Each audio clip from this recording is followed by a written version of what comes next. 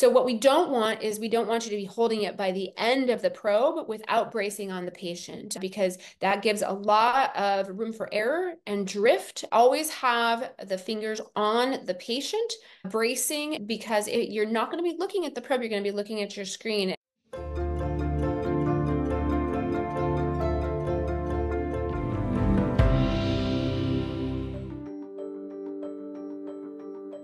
So I want to go over a little bit about how to hold the probe. So this is ultrasound probe technique.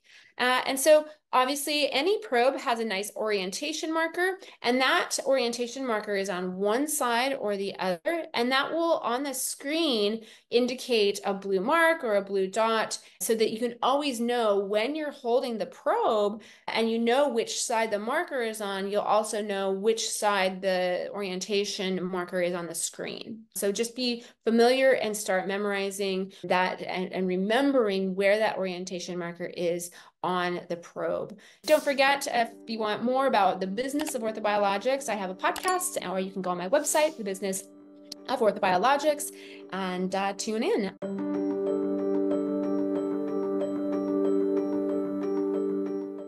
Now, ultrasonographers are, are pretty particular about these orientation markers on the screen, and they have some recommendations to always keep it one way or the other.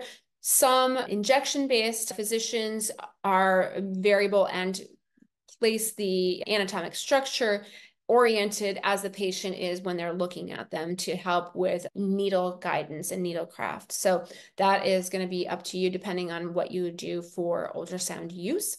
Next, we're going to recommend this tripod technique where those three, the small ring and uh, middle finger are going to be bracing on the patient and you're going to be holding the probe between the index and thumb. Uh, sometimes, depending on the size of the probe or the size of the hand, you may want to use three fingers on the probe and two fingers in the tripod position, but really always have the fingers on the patient bracing and because it, you're not going to be looking at the probe, you're going to be looking at your screen. And so you don't want inadvertent drifting or sliding, especially with the ultrasound gel. And this is one way to avoid that. And then you're going to be still bracing with those fingers as you turn uh, long axis and short axis, taking care to pinch more like a pencil the ultrasound probe and have really good fine control over minuscule movements, both in toggle and heel toe, as well as translation and rotation. So what we don't want is we don't want you to be holding it by the end of the probe without bracing on the patient because that gives a lot of room for error and drift as well as not good control of the probe as you're looking at the screen.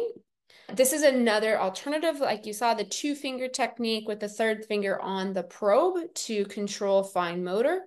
Um, and then obviously you're still, when you're picking it up, you're picking it up more like a pencil and controlling the top with the index finger. So those are, that's another alternative contralateral grip with the index and middle on one side and the thumb on the other to really get good control. You're Still using the small and ring finger for bracing on the patient to make sure that you're not sliding or uh, translating inadvertently.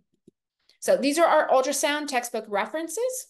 Please, if you're wanting more guidelines, the AIUM guidelines uh, is a great guideline. And the ESSR is also a great guideline to be able to go ahead and look online and they can kind of run through all of that ultrasound examination. And then don't forget, if you want more about the business of orthobiologics, I have a podcast, or you can go on my website, the business of orthobiologics and uh, tune in. Otherwise, thanks so much. Uh, we'll see you next time.